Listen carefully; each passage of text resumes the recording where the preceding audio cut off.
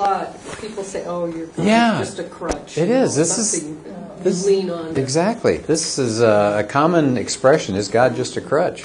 So I thought maybe we could tackle that today. Actually, found a picture of a crutch. Seemed highly appropriate. Is God a crutch? And you're right. This is a common complaint uh, leveled against Christians. So I've given about three or four of these. I want you to take a look at here. One is a former governor of Minnesota. He was a action movie star. Yes, uh, he was in. He He was was in. a Uh, WWF wrestler. He was a Yeah. wrestler. yeah. He had the famous line in one of his movies, I ain't got time to bleed. That was Jesse Ventura. And then he ran for governor. For some reason, the people of Minnesota are kind of uh, uh, crazies, and they voted this guy into office.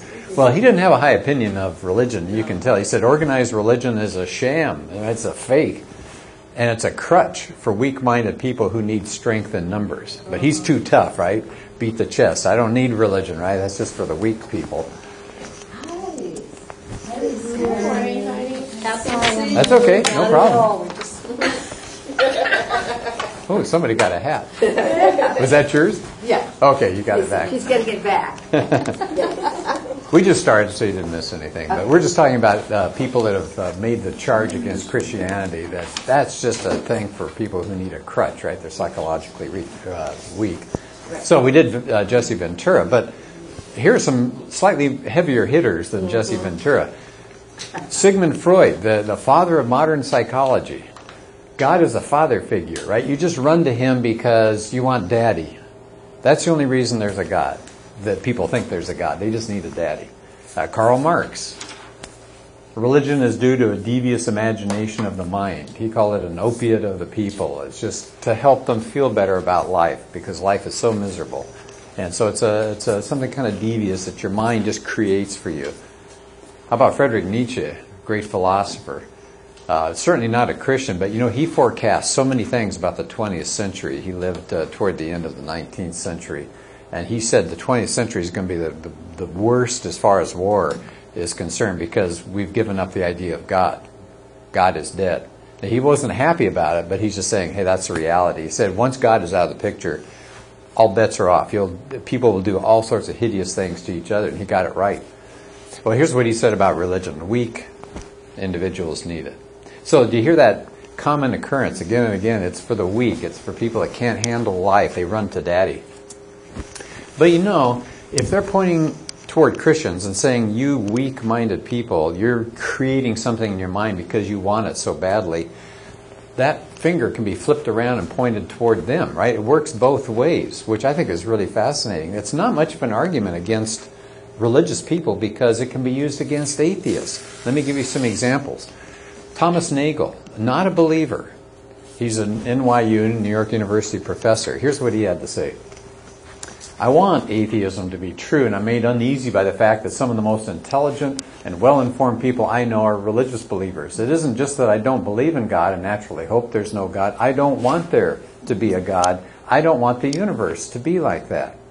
How many times do you hear I want and I don't want and I don't want, right? Where is that coming from? That's his mind. That's a psychological projection, isn't it? He says, I don't want this, so therefore I'll be an atheist, right? He didn't he didn't say I'm going to be an atheist because I think that's where the evidence leads. I've examined it very carefully. It, it's not. It doesn't work, right? There's no such thing as religion. Uh, everyone can be proved false. He doesn't say that. He says, "I want this to be true. I want the universe to be like that." And you'd say, "Why in the world would somebody want a world without a God? What, what would be the advantage to that?" Well, here's another individual who's answered that question.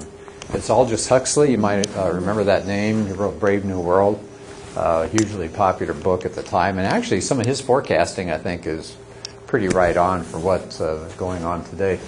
This is a long quote, but again, think about his psychological aspect here as he is wrestling with the idea of a God or no God. He says, I had motive for not, there's that word again, want, right? For not wanting the world to have meaning. Consequently, assumed that it had none, was able without any difficulty to find satisfying reasons for this assumption. So, what did he start first? He started with what he wanted, and then he looked for reasons to back up his motives. Right? So that's backwards. Seems like we ought to look out and find the reasons and say, okay, I will commit to this or I won't commit to this. But he's doing it the other way around. He said, I'm looking for something to satisfy me on the inside. The philosopher who finds no meaning in the world is concerned to prove there's no valid reason why he personally should not do as he wants to do. Right? Do you hear that? To me, that's the key part there. You look out and you say, I want to be able to do certain things, so therefore I will decide that's the way the world really is. Why he should not do what he wants to do, or why his friends should not seize political power and govern in the way they find most advantageous to themselves. For myself, here it comes back. Here's his admission, which I think is really powerful. The philosophy of meaninglessness, in other words, no God, was essentially an instrument of liberation, sexual and political.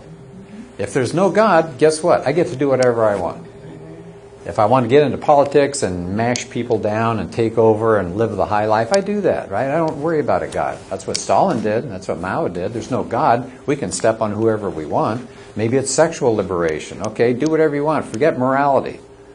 Right? That goes out the window. If there's no God, we're just making up morality as we go along. So that was great for him. He said, that's where I want to be.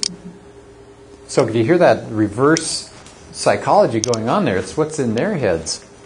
Here's one more person, Mortimer Adler, who is uh, a founder of the program called Great Books Program, part of Encyclopedia Britannica, an extremely sharp guy.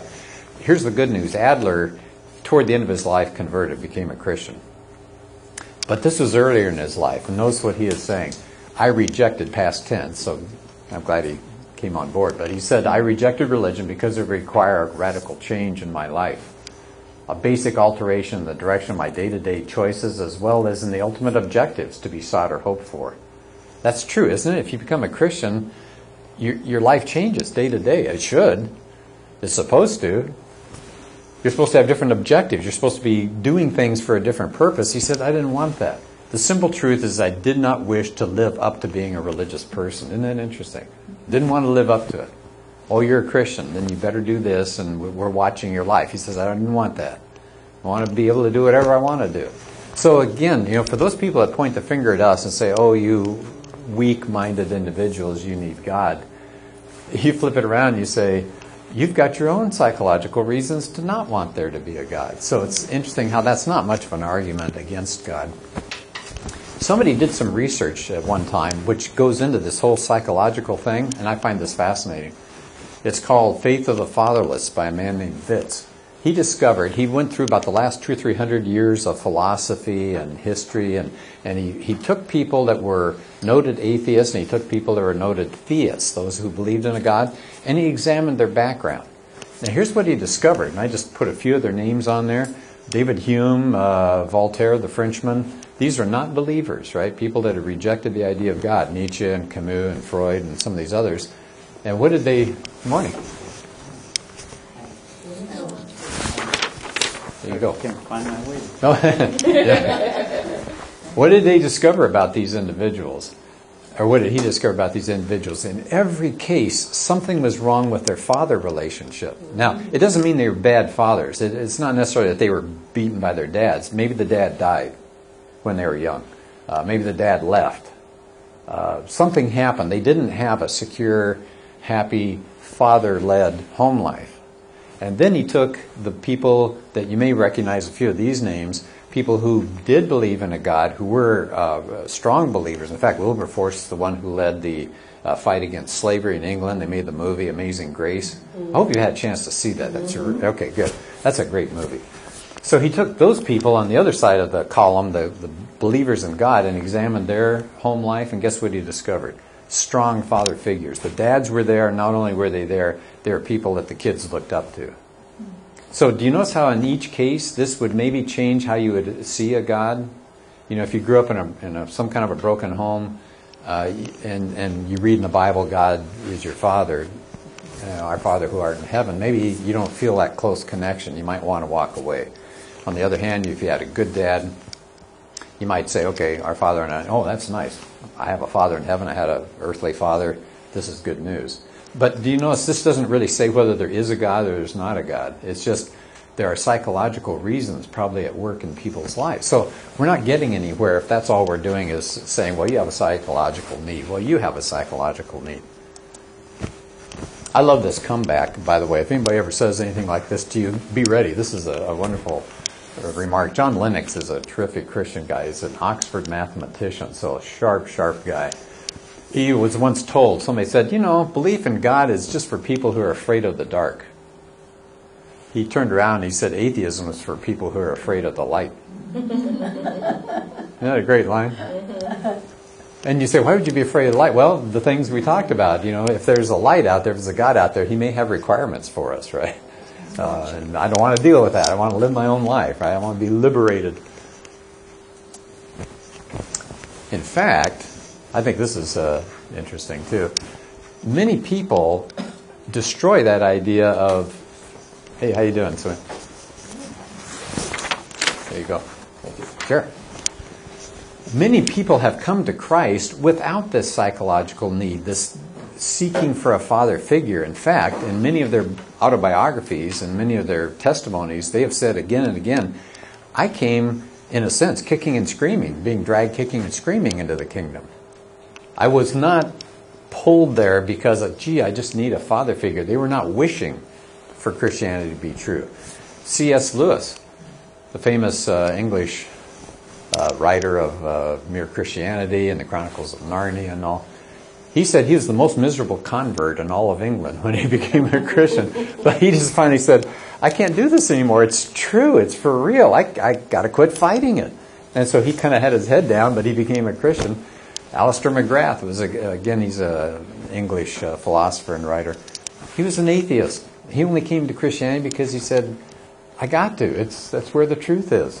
Francis Collins is the, uh, was the director of the Human Genome Project, so he's a brilliant uh, doctor. He was not interested in Christianity and finally did some research. He was happy with his life. He was a doctor. He was uh, appreciated, right? He was helping the, the sick, and people looked up to him him, and he thought life was fine. But he finally investigated uh, religions because of a challenge of one of his patients. And then he, he, he kind of, you know, he was looking at world religions, got kind of confused by it all, and finally read a book by C.S. Lewis and uh, converted. What I want to do is to show you about a three or four minute video here of the last person on the list, J. Warner Wallace. He'll probably say a little bit about his life, but uh, Wallace is a uh, cold case homicide detective from the Los Angeles area. So he would take these cases that people hadn't been able to solve for a long, long time, and he'd go out in the field and do a lot of work. Now, he got so good at it, he was featured on Dateline and some other uh, television shows. He never lost a case. Once he got on it, he was a bulldog. And he was so sharp with what he did as a detective that they always uh, convicted the person. So he's got a, a little story here I want you to to hear when he talks about why did he become a Christian? Was he unhappy? Did he need a father figure? No. So let, let's hope. See if this will work. If not, I've got it on. Uh... okay, so I don't think it's happy.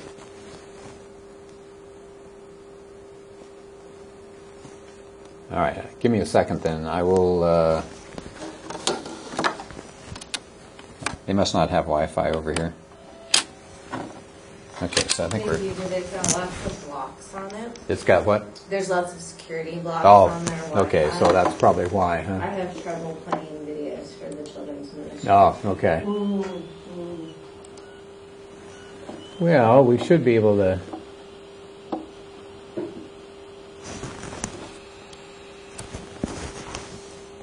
Uh,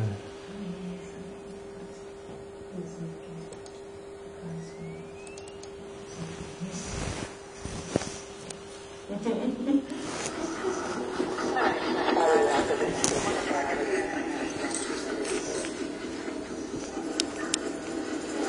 no statute of limitations on murder, and the ones that are unsolved go into a cold case file. In Torrance, California, those cases landed on the desk of Detective Jim Warner Wallace. Several cold cases that Jim solved were featured on NBC Dateline. In the end, you're trying to figure out what just happened here, constantly entering each scene and asking, what really happened here, using the evidence available to you. Because these are cases that really were given up for lost. They, they, really nobody had any expectations of ever solving those cases. Jim started in law enforcement as a patrol officer. A second generation cop, he wore his badge proudly. He had a keen eye and sharp mind, and by his 30s was promoted to detective. He was also a loving husband, dedicated father, and an avowed atheist. I was more than happy with the idea that I would live my life, and when I closed my eyes for the last time, I would be in the dirt. Came from nothing, I'll go back to nothing. I, the idea of a life after this one was meaningless to me. If you had told me that I was a sinner, I would have laughed at you. I know what sinners look like. The other folks I take to jail, that's not me. I'm a good guy. Jim always prided himself in his intellect and openly mocked people of faith, especially Christians.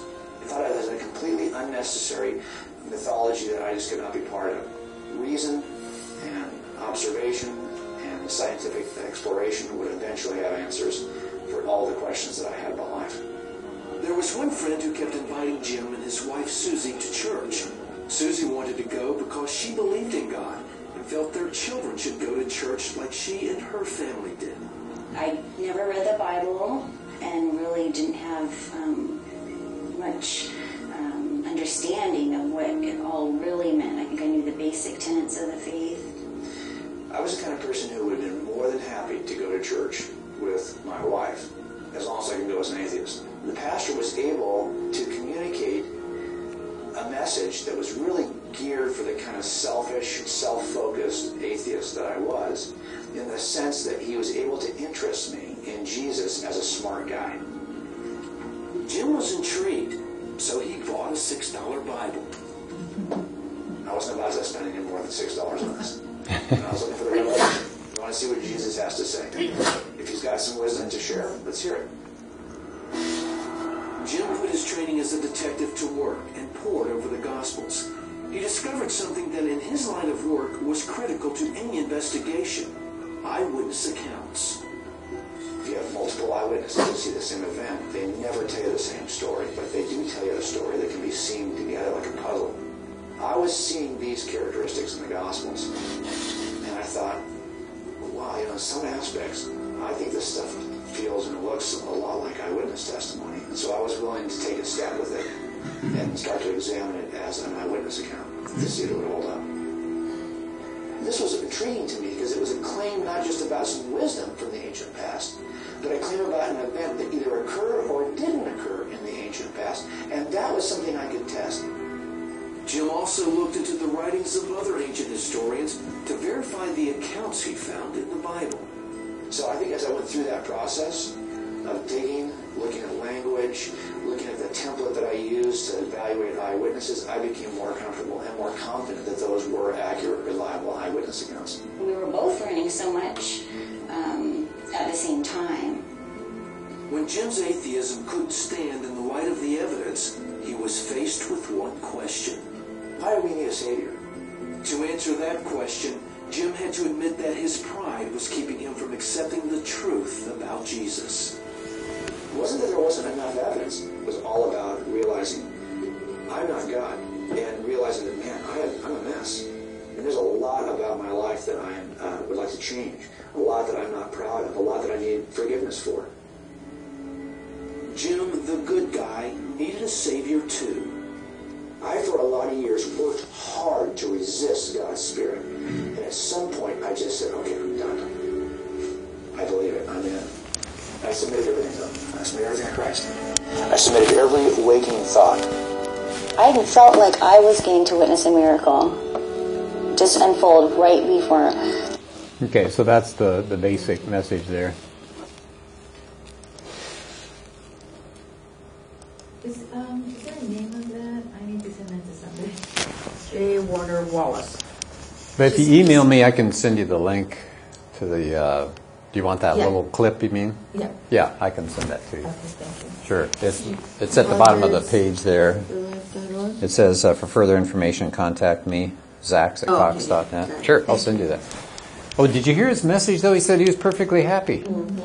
Right, he was doing uh, the work that he wanted to do. His dad was a cop. He became a cop. Eventually, his son became a police officer. So he's come from this family of police officers. He's doing what he likes, and he thinks when life's over, you know, you're in the ground. That's it. Okay, enjoy this world as much as you can. And it was by examining evidence he decided, oh, this is true. And once it's true, then he's walked through that door and he's become a Christian. He speaks all over the, the uh, world, by the way. He came to our church, Emmanuel Faith, about, was it about a year ago? And he spoke, and he's, he's a powerful speaker. His first book was about the reliability of the uh, scriptures, uh, New Testament documents. It's called Cold Case Christianity. That's good. But he's just come up with a new one called God's Crime Scene, and it looks at the universe and how there's so much evidence out there for um, design and uh, you know careful creation of the world, not just an accident. Hey, Pete. Here you got a comment. Yeah. Um, you see how he did feel happy, you know, glad it was okay, but then he realized that you know he was a mess. He Yeah. He was a mess. A lot of people are in that state. You know, a lot of times um, we feel okay, comfortable outside, and think we don't need anything. Yeah. But then we, when we get into the Word of God, you know, it reveals to us that we do need help. Yeah, you're right. Yeah. So that, that I love J. J. Warner Wallace. If you have a chance to even just see some of his things, little clips on YouTube, just type in J. Warner Wallace. Uh, yeah. You can also go to coldcasechristianity.com. Oh yeah, Cold Case Christianity. There- Is there a hyphen in there? Is it all? No, just cold, C O L D C A S E, coldcasechristianity.com. He has got so much material there. He comes from a Mormon family, and so if you're ever dealing with Mormons, he's just got a wealth of material there on the difference between Christianity and Mormonism, but it's every aspect of Christianity. He just wears me out seeing all the things that he accomplishes. Just he says he gets up early in the morning. I can believe it. I mean, he's just a go-getter. He speaks at conferences now. He's a very popular uh, individual, and you can tell he speaks well and uh, a very uh, knowledgeable person. So, Joe uh, Warner Wallace? yeah, J period, like it stands for James. So J period, and then Warner, W A R N E R, Warner, and then W A L L A C E. Thank you. J. Warner Wallace. But the whole point of this part now is to say people don't necessarily come. Now, some do. Some come for psychological reasons to Christ. Some ignore Christ because of psychological reasons. And, and some people come despite their psychological reasons. He was okay psychologically, but he comes to Christ because he thinks that's where the evidence is. So I've always wondered, you know, these people that say, "Oh, you Christians, uh, you just go to Jesus and go to God because that helps you. That's what you want. You want this daddy figure." But if you really think about it, what kind of God did we invent as Christians? If we're inventing a God, is, is this the kind of God, the Judeo-Christian God that brings ultimate comfort? Well, we say, yeah, he brings comfort, but imagine if you're inventing a God, would you invent a God that's totally righteous? Wouldn't you invent a God that's a little bit easier going? It's like, oh, you messed up, but that's okay, right? I'm going to kind of weigh you. As long as you do some nice things, don't worry about the bad things you do, right? That's the kind of God I'd come up with. Because I, th- I hope I think I do more good than I do bad, but, you know, so I'd kind of like a God that sort of weighed me, and, um, but he's a judge. Well, I don't want to go in front of a judge. No thanks. That doesn't appeal to me at all. All those things revealed about my life. He's the one that created hell. If you're going to invent a God, are you going to invent a hell? Or are you just going to say, well, he didn't do as well as I hoped you'd do. I'll kind of isolate you over here. You know, I'll put the Hitlers and the Maos over here and just let them kind of irritate each other for eternity. But, you know, I'm not going to do anything bad to them. And the rest of you tried pretty hard. Come on in. Uh, how many of those jokes do you hear about the Golden Gate? You know, somebody comes in front of the pearly gates there, and there's St. Peter, and they always have these jokes about it. It's like everybody gets to go up there. That's not the God of the New Testament. The moral standards, remember when Jesus did the Sermon on the Mount? You look at a woman with lust, you just committed adultery. Wow, that's a little tighter than what the, even the Ten Commandments said, right? Jesus says, that's not as specific. Let me tell you specifically what God's concerned with. You ever been angry at somebody? You just committed murder in your heart. Ooh, that's not good, right? You can invent a God that does things like that. Jesus says, take up your cross and follow me. That's not the kind of God I want to follow that tells me, pick up a cross. He says, turn the other cheek. It's more fun to whack the person's other cheek than to turn our own cheek, right? So I, I wouldn't create the kind of Jesus that's in the New Testament. I wouldn't create the kind of God that's in the Bible. And yet we're, we're told that we're creating this father figure. That doesn't make any sense to me. The God that's revealed in the Bible is a much more stern God than I would have created. So it seems odd that we'd say, oh, yeah, you Christians, you've created this God. So here's the real question. Here we've been talking about the psychology behind things. Okay, Christ is a crutch for us. But the question is, are we lame? Right? So Christ is this crutch. Do we need it? Right? If we're healthy, then it is stupid. Why, why go to a crutch if we're healthy people, right? In a day to day, just our physical existence, we don't take crutches, we don't use wheelchairs unless we need them because there's something wrong. We have to heal up or whatever. So the real question is do we need a crutch? And this is where I'd like to spend the last part of the class. I, I would suggest, and I hope you agree with me, we're all lame. In some sense, not necessarily physically. But how about this list? And you can probably think of 20 other things we could put on it. We all have feelings of inadequacy, right? Because even if we don't look at the Bible or don't look at a holy book, we have our own standards. And we don't live up to our own standards. We mess up all the time. We say, well, at least I'm not a Hitler. Okay, you're not a Hitler, but you have your own standards of what you think's right and wrong. And every day you go, why did I do that? I just messed up whatever my standard was. We have guilt feelings, right? We say, well, okay, we screwed up. I don't feel so good about what I did. We have self-destructive tendencies, don't we? Hang out with the wrong people and and uh, just do stupid things to ourselves. We're full of pride. We're antagonistic towards others. A lot of envy. It's all self-centeredness. Isn't that what Jim uh, Wallace was talking about? It was all about him. And as he read the Bible, he realized, oh, I've been living just for my life. That's not so good. So I would suggest for all lame, and you could add certainly more things to this. So the question, I think the big question is somebody throws that crutch issue at you, just say, well, I think we all need crutches. Here's the question Can your crutch hold you? So let's just try a few of these, and I want to hear what some of your responses are, especially if you've experienced this or you've seen other people who have experienced these issues. For a lot of people, their job is their crutch, right? I, I've got it for 40 years. I'm set. I know what I'm going to do every day. I'll go there, and uh, they'll pay me, and everything is, is fine. Do you know anybody who's, who's lost a job? Yeah, see, you're all nodding. You know people who've lost jobs. You know people who all of a sudden get bored with what they're doing and they, they walk away from it. I taught at Orange Glen High. I was telling uh, Howard here, I, I, taught here at this school, so every time I walk around, I go, oh, I remember walking around here. Mm. I taught here for 12 years, got totally burned out. I said, I'm done. I am done. Here I was in school and I got this job. My parents were proud of me. Oh, you're a teacher. I said, I'm done.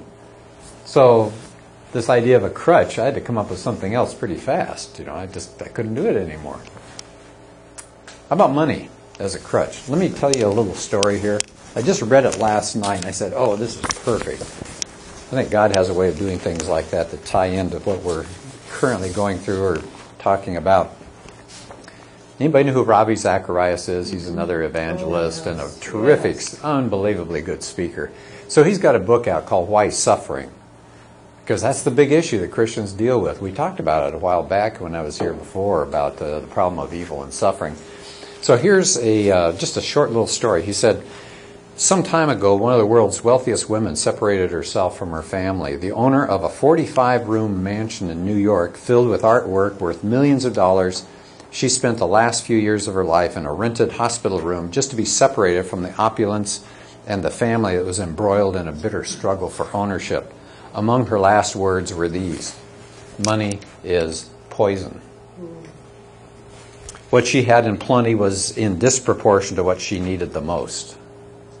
So, isn't that something? I, I don't know who he referring to there, but she had it all. She had a, a huge mansion, she had rooms full of art worth a fortune. And she ends up leaving it all before her death, just to get away from her family, get away from all that stuff. He says, Money is poison. Maybe you know a lot of people whose uh, crutch is money. It's all about building that bank account. Does that ever go bad? Does that crutch ever break? right, we just went through that big 2007 2008 uh, collapse, and a lot of people lost uh, a ton of money on that deal. A lot of people bought houses that were a little bit more than they really could afford, but, but what, what were they thinking? That, well, don't worry about it. We're our finances will keep going up. I'll keep getting more income. Do you mind handing that back to me? Mm-hmm. Thanks. And then what happened? They either lost their job or something happened. All of a sudden, houses started glutting the market. Uh, foreclosures were happening. Uh, some friends of ours are still what they call uh, upside down. You know, they worth their their house is worth less than all that they're going to be paying off, and they said they don't see any end in sight. So, is money a great crutch? I don't think so. We've all had uh, downturns and bad experiences when it comes to money.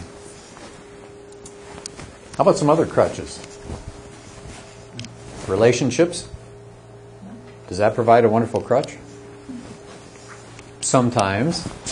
Lifelong, it would be nice. But what's the divorce rate in this country? Around 50%? People entered this saying, that's going to be my crutch, right? That other person will always be there for me. Not necessarily. Sometimes it's death, sometimes, you know, other things happen, but we don't always get 30, 40, 50, 60 years with somebody. Relationships come and relationships go.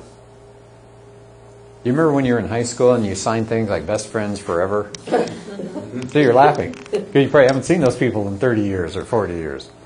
Uh, not everybody goes to reunions and reacquaints. Uh, and if you do, sometimes you're sorry you went. They're different, you know, they've changed. Life's made some maybe improvements or differences in their life. Uh, so relationships, not always a, a great crutch. How about status? I just picked a picture of people who apparently are big wigs at their school. They're wearing their fancy gowns and stuff. Does does the status of people sometimes change in life? The ones you looked up to, not so much anymore, or vice versa? I always think of, of high school again for some reason. When you're in high school, some of the goofy, nerdy outcasts, and you say, I don't want anything to do with them, and later on, they've done very well for themselves, right? The status changes. Then you got the jocks and the, the you know most popular kids, and I remember years ago, um, I ran into a guy from high school, and I hadn't seen him in, in years. He was really funny in high school. I thought this is going to be great. I'm going to hang out with him and all, and he was real down. And it was like five minutes into that, I said, "Okay, I think we're done here." You know, so I looked up to him. I thought he was a really neat guy. It was kind of like life had smashed him down just in a few years. So status can change, can it? Yeah. Isn't that like the same? be nice to a nerd because you may work for him? yeah. Well, look, uh, Steve Jobs never finished college, and uh, Gates did. I don't think finished college, right? So, yeah. So big deal, huh? The guy that did the Dell computer never finished college. No, that's true. Michael Dell wasn't he doing it as part of a college project or something, working on computers? Yeah. How about health? Right. When you're younger, you'll always be in good health. That's a good crutch to have. I I'll be fine. Right. I'm, I'm physically fit. Okay. I used to love running, and uh, my back says no, not anymore. So I got to think of something else because that gave me a lot of. That was my crutch, right? I would go out and kind of burn off some energy and felt really good doing that. So now I got to think of other things to do. So I'm more sedentary than I used to be. But you know, thing, people like that, right? Who've who've built their lives around the physical fitness and uh, they've been able to accomplish anything physically they wanted to do, and then things come into their lives. So we don't know, right? You can't you can't tell that that's going to be there forever. I thought I was going to run till I was 80, 85 because I'd see some of these old guys, spry guys out running on the streets. I thought, great, but uh, it's it's uh, it's a hard hard thing on your back when you're pounding along the pavement. How about education? We've kind of touched on that already, but is education a crutch that we can always depend on? I forgot what I read. The statistics were just startling. People who have finished college, it's something like a third of them never get into the field that they majored in. Maybe you know people like that. They've uh, spent a lot of money on college. It's hugely expensive these days. And then they're not doing what it was they were trained to do because there are no openings. Or, you know, whatever, something's happened. They got that degree and they thought that was going to open every door. And for some people it does. It's still, you know, statistically you make more money if you don't, if you have a degree compared to those who don't. But you're, you're taking on huge debt and sometimes you don't get into the field. Sometimes the money isn't there. People major in things that will not provide them that kind of uh, money. I hope education works out for people, but not always. So what I wanted to do is to have you take a look at this list uh, here for a minute. What we've been hearing over and over again is, well, Christians are psychologically weak. And I would add to that, there's some other personal attacks made on Christianity. Well, Christians are homophobes. I mean, that's one of the latest. Uh, Christians are arrogant. They think they got the right way. Christians are intolerant. They say there's only one way through Jesus to God. Uh, Christians are judgmental. We say, oh, that's not right, that's immoral. And so these kinds of charges get leveled against us. What if you hear this? So today it was, you know, you Christians, you think uh, God's a crutch. Uh, you're psychologically weak. So maybe you hear that. Maybe you hear these other things. So I'm just lumping them together because I think there's one really good answer that we can give. Anybody have an idea about this? What, what would you say? I, will just tell you this uh, before you, I hear your answer. The tendency is going to want to say somebody calls you intolerant, you're going to try to prove that you're tolerant, right? Or somebody says you're a homophobe. No, I'm not.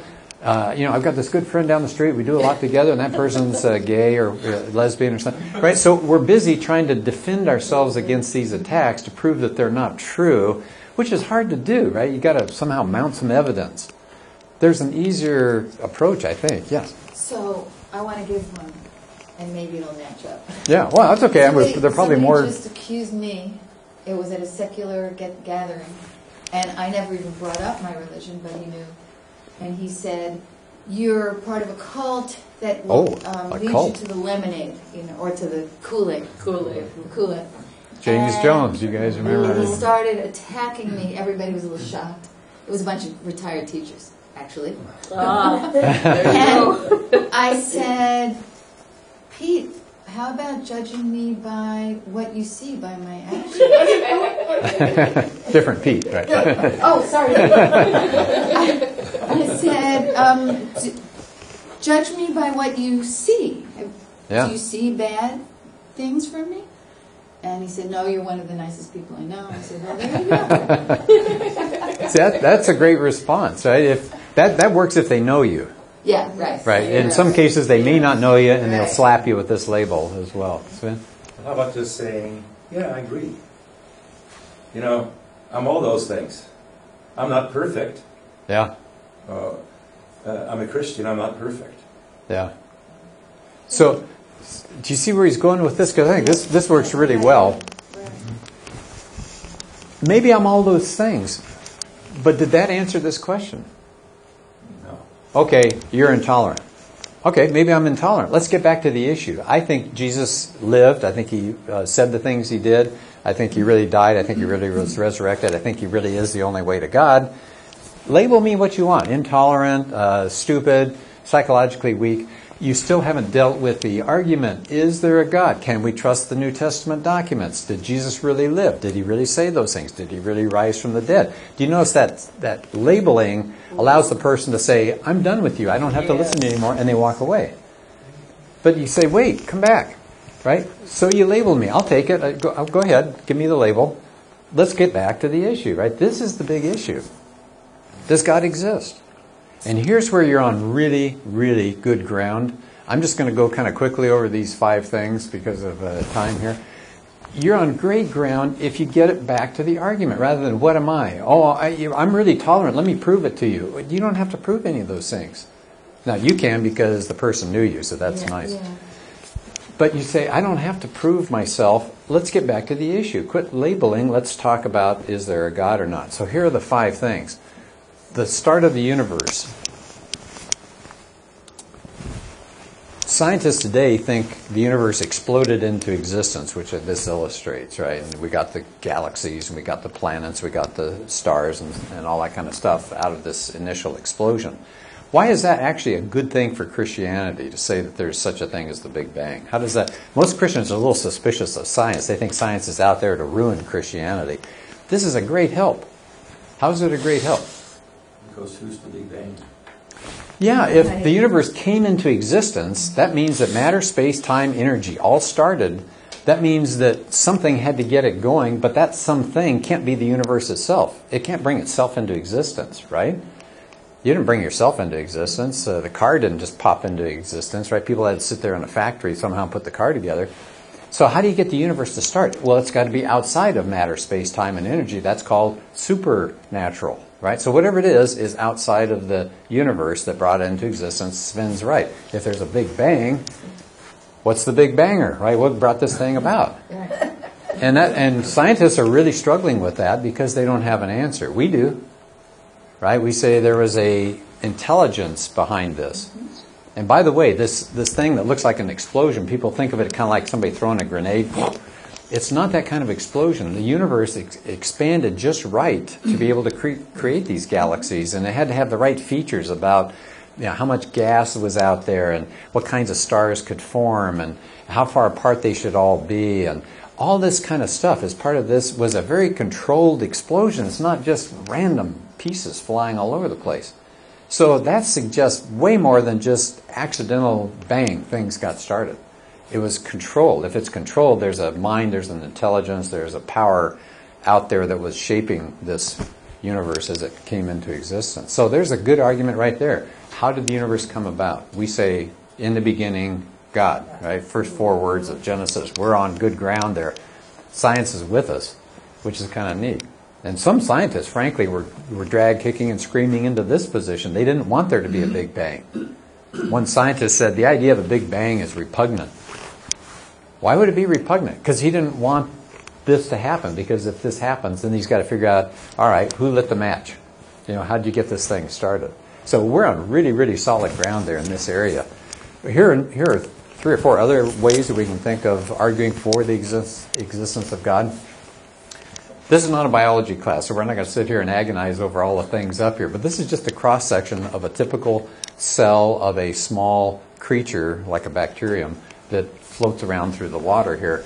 It's got, and they, they cut it off because they didn't have enough space, but many of the bacterium have these little whip like things that spin them through the water, like almost like an outboard motor. So they got that. They've got a nucleus of a cell. They got all these little bits and pieces here, and I won't even label them and have you worry about them. But how in the world do you get life started when even the simplest single cell is this complicated? Do you think just random you know things fly around through the universe and just kind of stick together and give yourself a cell? It it doesn't happen. This is as complicated as a factory. They, they talk about a cell as a factory. What's going on inside there? All sorts of little things to keep that factory functioning. They've got little highways that are created. They've got little uh, creatures that move things back and forth. They get rid of things they don't want. They're producing new things, and it can replicate itself. I don't know any Toyota factory that can replicate itself, right? We're not smart enough to do that. So all of this stuff leads you to think, good heavens, if it's that complicated, how can you get life? So they're having two problems, right? First of all, the scientists can't figure out how you get the universe started. Then once you get the universe and you get the Earth, how do you get life going on the Earth? They're, they're discovering life happened really early. After the Earth was just about ready to have life, boom, life was there. And they don't, they don't understand it. How can you get life started that fast? You don't have enough time for random processes to happen. It happened too quickly. There's something called the Cambrian explosion. I don't know if you heard about that, but it's all of a sudden a whole new layer of animal life appears. Suddenly, in the you know snap of a finger, it's there. How does that happen? That's not the slow process that you need for evolution. So we got two things on our side. If we're going to talk to people about do we really think there's a God? How about the beginning of the universe? How about the beginning of life? Here's a third one. How about the design of life? I already showed you the cell. So if you took the cell, right, you got the cell here, and you go inside the nucleus and you pull it apart, you see these kind of funky little uh, strings that look all wound up. That's chromosomes. If you took the chromosomes, apparently there are about six feet of them, you know, in the inside of each cell. And then if you take that chromosome and you look at it closely, it wasn't until the 1950s or so that they discovered it has this uh, called a double helix structure. It looks like a ladder, but you've twisted it. And inside the ladder are these chemical compounds. You notice they're using different colors to represent. They're not the same thing, and they come in a sequence. And you know what this is? If you pull it apart and read it, it it's a computer language. So you've got language inside these cells. In other words, what this is basically saying is if you take enough of these and string them together, you can make brown hair. Then the next part of it, if you string these together, you'll make blue eyes. You string the next part of these together, you get a kidney. You string the next part of these together because you got six feet of it, right? And so you're reading the information. If, as you read this information, it tells you what to build. It's a blueprint. Now, I don't know about you, but blueprints in my book always come from engineers and designers, right? How else do you get computer language? It's coders, right? People that code these things. Bill Gates, does he know something about computers? Bill Gates said DNA is the most complex computer code ever? Bill Gates. Does it mean he's a believer? Probably not. But he recognizes this is information, right? This is language. And this is coming out of the, every cell that we have.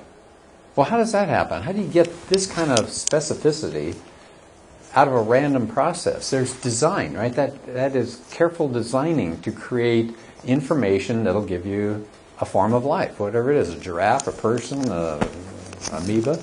Pete? You know, when I read um, Intelligent Design book, I'm trying to remember, there seemed like there was something about. Darwin's Black Box by any Darwin's Black Box? Well, No? I don't know about Darwin's Black Box, but it was. It was a book on um, it.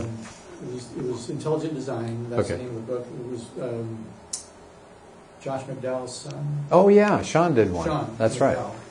But I think it said there, there's more, more code or more uh, information in this, in the DNA in our bodies than, it's- than all these text, I mean, thousands and thousands of textbooks. Or, uh, It's just Yeah. a wealth of information, you know, information in our bodies. Yeah. It just, you know, blows your mind. Oh, it does. It's, it's like you, you're walking around with sets of encyclopedias on the inside, uh, you know, of information, how to, how to build this. Put these things together, these proteins, right? It's telling you how to build proteins.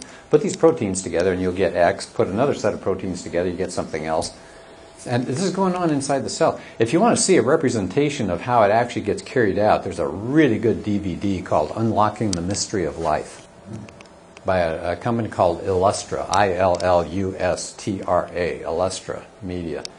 It is so fascinating because they computerize it. It's not just like I'm doing today, slides. If we had enough time, uh, it's called Unlocking the Mystery of Life.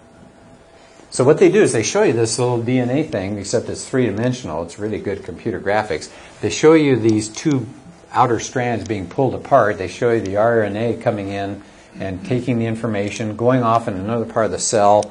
It goes inside this body that, that reads the information and starts building the proteins. It shows you the whole thing. You watch it, you go, that is unbelievable. It's just beautiful to, to see it all happening. Is that a DVD? It's a DVD, and you can share it with friends. By the way, it's not it's not threatening. It doesn't say "Come to Christ, or you'll burn in hell." It's not one of those kinds of things. It it just says amazing, and and even the non-Christian is going to say, "Yeah, I agree. It's amazing." So it's a great conversation starter. Really, really good. They have a whole series of these DVDs. Oh, Unlocking the Mystery of Life is one. Another is uh, Darwin's Dilemma. Uh, third one is uh, The Privileged Planet. Who puts these out? Il- Illustra, I L L U S T R A, Illustra Media. I-L-L-U-S-T-R-A? T R A, right. Uh, If you forget any of that stuff, just email me. Just say, what was that thing about that DVD? I'll give you the link to it. And they're really cheap. It's like uh, they have packs of them, like you can buy three for 10, 15 bucks. You know, it's pretty reasonable. And I'm, I hand them out like candy because I think they're so interesting. And nobody's going to disagree with you, right? But it's oriented towards science. Everybody loves science these days. So they read that, or I mean, they watch it and they go, oh, that's pretty cool. And then you get a great conversation started. How does that just happen? They've also got DVDs for nature lovers. They got one on flight. That's what it's called, flight. The, how do the birds function? You know, everything about them from their uh, skeleton, and I mean, everything is just perfect for the way they're they're designed. Right? Metamorphosis, yeah. How do you change one animal into a completely different animal, like you get with uh, caterpillars to butterflies? They've got a new one called Living Waters. What's going on out there with uh, porpoises and things like that? They have the the sound location, all that kind of stuff. It's amazing. Can you So- go through Amazon? What's that? How, you Yeah, you can get them through Amazon uh, or go to Illustra's uh, website itself. But they're really, really good, good things to watch. Okay, so design. There's another argument. So beginning of life, oh, sorry, beginning of the universe, beginning of life, and then life itself is so complicated. There's such a design there. I don't see how. Oh, by the way, I knew there was one other thing I was going to say. Have you ever heard that term junk DNA? No? No? Okay, well, I won't spend my time on it. But at one time, when they started discovering DNA, they would come across sections of DNA that didn't seem to do anything. And they said, oh, that just proves that evolution created DNA because they had some dead ends as evolution was kind of, uh, you know, uh, making these things happen. And so they called it junk DNA. In other words, like junk, it's not worth anything. And they found pieces of it. Well, you know, in the last five years, they've been looking at it more closely, and are you surprised? There's no junk DNA. That DNA that they didn't know what it did, it does things. You need it. Oops. You know, so there goes another shot against uh, Christianity. It's like, okay, so now you're not supposed to use the term junk DNA anymore because it's actually functioning. Here's another argument for God. Where in the world do we get the idea of morality if it's not from God? Well, the alternate is to say we make it up. Well, that's not a good way to live, right? We, every one of us, we're making up our own as we go. Well, why is it then when we stand in line in a grocery store and somebody cuts in front of us, we say, hey, that's not right? That person could turn around and say, well, that's your morality. My morality is to cut you off. We don't, th- we don't think that. We say there is, there's something bigger than just me. So then other people say, well, maybe it's uh, morality comes from society, right? If 51% of the people say it's moral, then it's moral. So my question is, well, how about 150 years ago? Slavery was okay by at least 51% of the population. Did that make slavery right? Uh, no. Hitler got in office by the election of the people, right? Majority of the people thought Hitler was okay. Is what he did okay? Uh, no. So you're really stuck. If you say there's no God, then where in the world are we getting this morality from? We all feel it down deep, don't we? We all say, yeah, it's wrong to torture babies. Yeah, it's wrong to genocide a whole bunch of people, take the Jews and put them in ovens. That's just wrong. That's not my opinion. It's not society's opinion. That's wrong. That's there's some kind of morality beyond us, right? So we say it's God. One more argument. How about the argument of consciousness? How do, and I just illustrated with rocks, if the universe is just filled with stuff, in this case rocks, how does this develop consciousness? Right? When do rocks all of a sudden wake up and go, what am I doing here? this is really a dull existence. I just got to sit here until somebody comes along or water washes over me. Right? So we laugh about that, but how do you get consciousness? This is a huge problem for people who are scientists but they don't believe in Christianity or some system that has a God. How do you get consciousness out of material stuff in the universe? First it was just hydrogen, you know, and then helium and, and some of that stuff fused. Pretty soon you got the bigger elements, you got, uh, you know, iron and copper and all. But how does all of that stuff all of a sudden wake up and say, I'm me. I am a person. And you can introspect and you can think about things. You can worry about the future. You can plan the afternoon. How does that happen from rocks? It sounds simple, but there's no answer outside of God. Yeah. And Gary, I, I thought about that, about that before, and I said to my atheist friends, if evolution is true, by the great chance that we did get here, I would argue that we would just all be zombies. Yeah, like exactly. Kind of mindless, because you're where, yeah, where do you get the consciousness part? Yeah. Where, where did that grow out of evolution? Yeah. It's the old argument are we just a brain or are we a mind? Right? If we're just a brain a bunch of neurons are firing and the chemicals are washing over us, we have no free will. Right? But if we have a consciousness, if we're aware, if we're actually a mind inside there, we can decide to do or not to do certain things. That gives us free will. So if you want to say, well, we're just all basically meat, right? We're just chunks of organic material, you've given up a lot as a human being. Right? You're, you're really no different than a rock, except you can walk around. Even your thoughts, you didn't, you didn't really think of that stuff. It's just the chemicals firing. So these are hugely good arguments, I think, for the existence of God. So what's the key point here? People can have psychological reasons for beliefs. Yeah, we, we've talked about that before. They can have psychological reasons why they reject God. They can have psychological reasons why they would accept a God. What we need to do is to see are those beliefs rational? Do they make sense? So let me end here on. Uh, you know what? Maybe I won't. Uh, it's a uh, shoot. I'll come back and we'll do it again, or I'll uh, tell me and I will uh, send me a note and I will get you a link to this. But it's a, a guy I like a lot, Greg Koukl, who has also come to Emmanuel Faith. He's a really good apologist, and he talks about this whole issue. And I was just I want to give him credit because much of what I've been doing today I learned from Greg Koukl, and I thought, well, this would be appropriate because he talks about the same issue about this psychological crutch. But I don't want to run you over here. So, anybody have a question? I went past a lot of material again today.